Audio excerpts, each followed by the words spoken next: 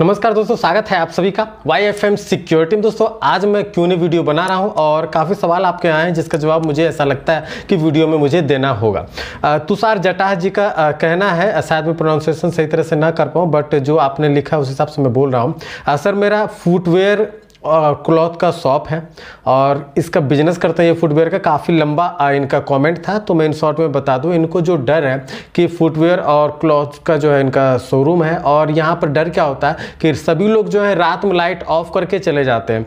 But इनका problem ये है कि सिक्योरिटी कैमरा भी ज़रूरी है इसलिए रात में लाइट ऑन करके रखनी होती है जिससे कि इनको डर लगता है कि शॉर्ट सर्किट ना हो जाए। इस बात का इनको डर है तो यहाँ पर ये चाह रहे हैं कि सोल्यूशन क्या है। देखिए ऐसा सोल्यूशन तो लगभग कई ऐसे जगह जो है, कई लोग जो है, हमेशा ऐसे जगहों पर कैमरे लगाते हैं बट इशू नहीं आते। बट अगर आपका डर है तो डर भी एक तरह से जायज़ है। आपके अगर इलेक्ट्रिशियन सही है तो आप उन्हें इलेक्ट्रिशियन को यह कह सकते हैं। कि रात में आप चाहते हैं कि पूरी जो शॉप की जो है लाइट ऑफ़ हो जाए, कहीं पे कोई कनेक्शन नहीं रहे बट एक कनेक्शन आपका ऑन रहे, सिर्फ़ और सिर्फ़ आपका उस जगह पर जहाँ पर आपका डीवीआर लगा हुआ है, उस बोर्ड पर, बस, और किसी भी बोर्ड में लाइट ना जाए। बस आप उनको कह दीजिए, वो उस हिसाब से वायरिंग कर देंगे, ऐसा कई जगहों पर होता है और हम लोग करवाते भी हैं।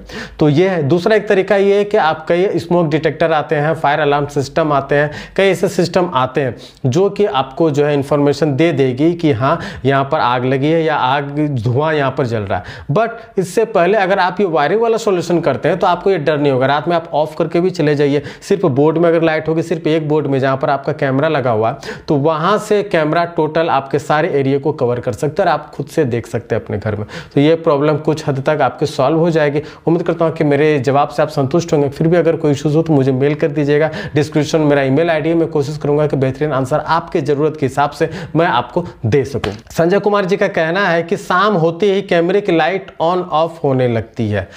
इनका भी काफ़ी लंबा कमेंट है मतलब इनका यही है। अब यहाँ पर क्या है कि लाइट ऑन, ऑफ़ होती है शाम होते ही, और मतलब कि रात होते ही, यानी कि नाइट विजन जब आई आर एलईडी जो इंफ्रारेड एलईडीज हैं आपके कैमरे के, या एक्स आई आर हैं, जो भी है स्मार्ट एलईडीज हैं तो वो जब ऑन होता है तो लाइट ऑन ऑफ़ होने लगती है। ऐसा तभी होता है जब कैमरे को सही पावर नहीं दिया गया हो, कम पावर दिया गया हो। अगर आपने जिस पावर सप्लाई को यूज़ कर रहे हैं, आप और एक्स्ट्रा उतने पावर सप्लाई को यूज़ कीजिए। अगर 10 एम्पेयर को कर रहे हैं तो 10 एम्पेयर और आप यूज़ कर लीजिए। ये पावर का इशूज़ है। दिन में पावर का इशू ज़्यादा नहीं होती, क्योंकि इंफ्रारेड एलईडी जो है वर्क नहीं करता तो आपको सही पिक्चर मिलती है। लेकिन रात में जब आई आर एल जो है, जब ऑन होते हैं तो उनको ज़्यादा पावर चाहिए होता है। उस कैमरे को ज़्यादा पावर चाहिए होता है। उस समय ये प्रॉब्लम आती है ऑन ऑफ़ ऑन ऑफ़ होने लगती है। ये समस्या है खासकर पावर सप्लाई को लेकर। दूसरा कनेक्टर वगैरह, आप छोटी मोटी चीज़ें हैं, वो आप चेक कर सकते हैं बट इसका सबसे बड़ा मेजर इशूज़ जो है, ये पावर सप्लाई के कारण ही होती है। जे जे जोश जी का कहना है कि बुलेट कैमरा को बिना डीवीआर के हम टीवी में देख सकते हैं। जी हाँ देख सकते हैं। सारे प्रोसेस हैं, आप देख सकते हैं, क्यों नहीं देख सकते? हैं और आप आईपी कैमरे को भी यहाँ तक मैं बताऊँ आईपी कैमरे को भी एक कन्वर्टर आता है आईपी टू एवी कन्वर्टर आप उसे अगर यूज़ करें तो आईपी कैमरे को भी अपने टीवी में देख सकते हैं बट रिकॉर्ड वगैरह उसमें नहीं होगा, ये आपको ध्यान में रखना होगा। R V V B G M का कहना है कि वाईफाई कैमरे में लैंड पोर्ट का क्या काम होता है? देखिए वाईफाई कैमरे में लैंड पोर्ट का काम एक तो उससे आप, अगर आपको नेटवर्क कनेक्टिविटी सही नहीं मिलती तो उससे आप राउटर को कनेक्ट कर सकते हो उस लैंड वायर से।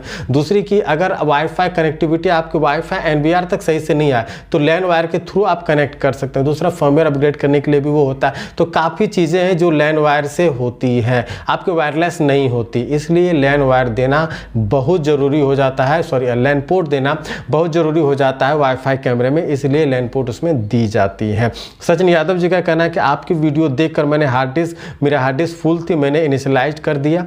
ठीक है, फिर भी रिकवरी स्टार्ट नहीं हुई। यानी सॉरी फिर भी रिकॉर्डिंग स्टार्ट नहीं हुई। रिकॉर्डिंग स्टार्ट नहीं हुई, यानी कि आपके हार्ड डिस्क में इश्यूज़ है। एक बार और आप जो डीवीआर है, उसे आप ओपन करके जो कनेक्टर लगे होते हैं डेटा जो पावर केबल और डेटा केबल जो है आपके हार्ड डिस्क और उस डीवीआर में, उसे आप चेक कर लीजिए, हो सकता है वहाँ पर भी इश्यूज़ हो। और दूसरा कि पावर सप्लाई का भी मैटर होता है, जो एडेप्टर आप यूज़ करें आपके डीवीआर में, जो एडेप्टर है। अगर वो सही पावर नहीं दे रही है, काफ़ी पुराना हो गया था, आप उसे चेंज कर लें, उसके कारण भी ये समस्या देखने को मिलती है कभी कभी बट रिकॉर्डिंग हो जाती है ओवर नहीं हो रही है तो आपके हार्ड डिस्क के इश्यूज़ है।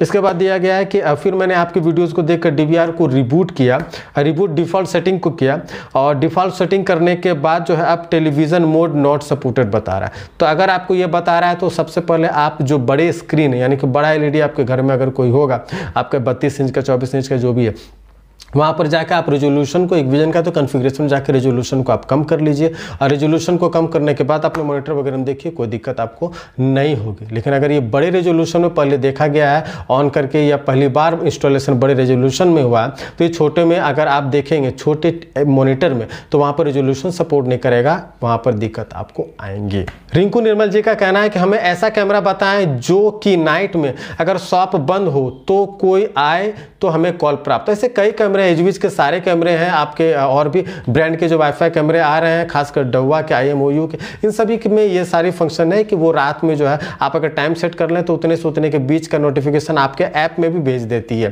तो ये सारी चीज़ें तो हो ही रही है। आप एनालॉग में भी आईपी में भी ये चीज़ें यूज़ कर सकते हैं। वहाँ पर भी अगर मोशन डिटेक्शन ऑन कर लें तो आपके ऐप में, आपके ही कनेक्ट ऐप में भी आपको वो नोटिफिकेशन देखने को मिलती है, सामने वाले की इमेज भी देखने को मिलती है। तो ये चीज़ें हो रही है, कोई बड़ा इशू नहीं है, ये चीज़ें नॉर्मली है। सिद्ध जी टू का सवाल, काफ़ी इंपॉर्टेंट सवाल है, क्या 2021 में हिगविजन का आईपी कैमरा नहीं परचेज करनी चाहिए? कोई रिस्क तो नहीं है। क्या फ्यूचर में ओल्ड कस्टमर्स को सर्विस या रिपेयरिंग पार्ट्स वगैरह में इश्यूज़ आएँगी? क्या प्रमा हिगविजन को टेक ओवर कर लेगी? या फिर कस्टमर को सीपी प्लस या डहुआ के पीछे जानी चाहिए? ये एक उपज है, मैं आपको क्लियर कर देता हूँ, ऐसा कुछ नहीं है। प्रमा पहले भी थी और परमा इंडिया में हिगविजन का काम करती थी, ठीक है? पूरे वर्ल्ड वाइज हिगविजन का काम होता है। इंडिया में परमा को लाइसेंस मिला हुआ हिगविजन का काम करने का। बट अब क्या है कि ये जो इंडिया चाइने वाली जो कहानी होगी, अब ये परमा के नाम से धीरे धीरे अपने ब्रांड का बस नेम चेंज कर रही है और इंडिया में प्लांट बैठा है तो वो इंडिया के हिसाब से वो एक मेड इन इंडिया वाले कॉन्सेप्ट को लेकर चल रही है। यहाँ हिगविजन बंद नहीं हो रहा हिगविजन बहुत बड़ी कंपनी है और इंडिया में प्रमा के नाम से काम करेगी, ठीक है? पहली बात सर्विस आपको प्रमा से भी मिलेगा, कोई इशूज नहीं आएँगे। दूसरी बात यह कि प्रमा हिगविजन के जितने प्रोडक्ट हैं, अगर सभी को प्रमा में कन्वर्ट करने में एक साल लगभग तो लग ही जाएगा आपके प्रमा को। ठीक है, सबका नाम बदलने में और भी चीज़ें बदलने में। तो आपको कोई इशूज़ नहीं है और हिगविजन बहुत बड़ी कंपनी है। हिगविजन इतने आसानी से बंद होने नहीं वाली इंडिया में। और ये जो ये चीज़ें मार्केट में फैलाई गई हैं तो आपको पता ही है कि जो लोग फैलाते हैं किस तरह की चीज़ों को, उनमें कितनी ऐप है, उनको अपने आप, अपने अंदर देखनी चाहिए। बाकी चीज़ें मैं आप पर छोड़ता हूँ कि आपको जो पसंद हो सी प्लस डोवा हिगविजन आप यूज़ कर सकते हैं। बट हिगविजन के सर्विस की भी कोई समस्या नहीं होने वाली है। परमाइश सर्विस देंगे और कोई दिक्कत आपको नहीं होने वाली। आप बेझिझक हिक विजन के प्रोडक्ट को ले सकते हैं। उम्मीद करता हूँ ये वीडियो आपको काफ़ी पसंद आया होगा। चैनल को सब्सक्राइब ज़रूर कर दीजिएगा। वीडियो को लाइक ज़रूर कर दीजिए दोस्तों। धन्यवाद।